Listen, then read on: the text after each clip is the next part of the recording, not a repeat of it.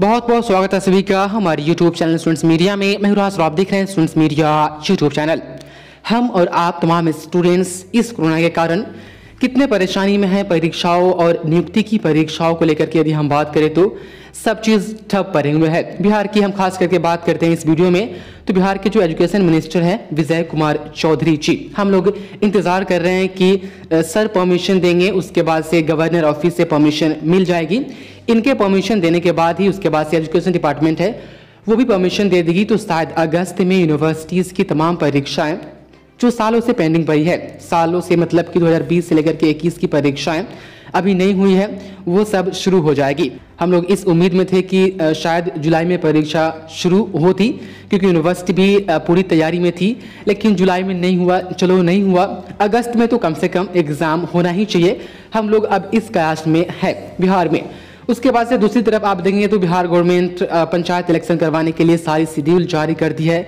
अगस्त से लेकर के पूरे सितंबर, अक्टूबर तक बिहार में इलेक्शन है। इलेक्शन करवाने के लिए परमिशन है, लेकिन जैसे ही बात आती है परीक्षा और स्टूडेंट्स के पढ़ाई का तो सिक्योरिटी का इतना बड़ा मुद्दा उठा दिया जाता है। मुझे पता नहीं ये किस हद तक सही है, लेकिन सिक्योरिटी के नाम पर तमाम परीक्षाएँ अब तक के होल्ड है और क्लासेस भी कुछ खोले गए हैं तो वो भी टेंथ से ऊपर के। एजुकेशन मिनिस्टर बिहार के जो है, अभी अभी, लगभग जब ये वीडियो रिकॉर्ड की जा रही है, तब से दो घंटे पहले यूनिवर्सिटीज़ जितनी भी यूनिवर्सिटीज़ है बिहार में, और उनमें जो पेंडिंग एग्ज़ाम्स पड़े हुए हैं, उनके ऊपर दो ट्वीट किए हैं। इससे आप अंदाज़ा लगा सकते हैं कि अगस्त में क्या चांसेस होंगी परीक्षा होने की। एक ट्वीट है जो इंग्लिश में है, जिसको टाइम्स ऑफ़ इंडिया ने अपने आर्टिकल में जगह दी है। दूसरा जो ट्वीट है, वह है हिंदी में है। आप यहाँ पर देख लेंगे। आप ट्विटर पर आकर के इनको फॉलो भी कर सकते हैं ताकि एजुकेशन से संबंधित सारी जानकारी आपको समय समय पर मिलता रहे।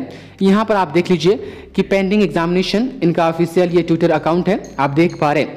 यहाँ पर इन्होंने अभी अभी ट्वीट करके बताया, लगभग जब वीडियो रिकॉर्ड की जा रही तब से दो घंटे पहले, कि pending examination in different universities in the state are unlikely to commence before September यहाँ पर कहा जा रहा है कि यूनिवर्सिटीज़ की तमाम जो पेंडिंग परीक्षाएँ हैं मतलब कि जो भी बची हुई है, ऐसा कम ही उम्मीद हम कर सकते हैं कि सितंबर से पहले एग्ज़ाम शुरू हो। मतलब एकदम से कम आश में है। कम उम्मीद है। हम आपको इसका हिंदी वर्जन भी दिखाएँगे, जो इन्होंने खुद ट्वीट किया है। उसके बाद है कि we understand the difficulties being faced by students यहाँ पर कहा जा रहा है कि जो छात्रों के द्वारा जो कठिनाइयों का सामना उनको कर करना पड़ रहा है उन समस्याओं को हम समझ रहे हैं, लेकिन उनकी सेफ्टी सबसे ज़रूरी है, यहाँ पर कहा गया है। उसके बाद से यहाँ पर कहा जा रहा है कि I request all students above 18 plus of age to get vaccine vaccinate यहाँ पर कहा गया है। कि 18 प्लस जितने भी छात्र, छात्राएँ हैं या 18 साल के हैं, उनसे रिक्वेस्ट की जाती है कि वो वैक्सीन ले लें। अब यहाँ पर हम इनका हिंदी वर्जन आप देख लीजिए। यहाँ पर कहा जा रहा है कि राज्य के विभिन्न विश्वविद्यालयों में इस साल सितंबर से पहले लंबित परीक्षाएँ शुरू होने की संभावना कम है।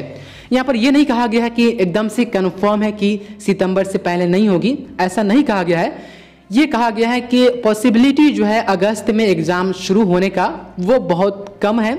अब इनके अनुसार कितने प्रतिशत है जो हम उम्मीद कर सकते हैं कि अगस्त में एग्ज़ाम होंगे।